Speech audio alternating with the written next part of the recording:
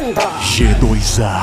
G2A, compra e venda de jogos baratos. Link na descrição, hein?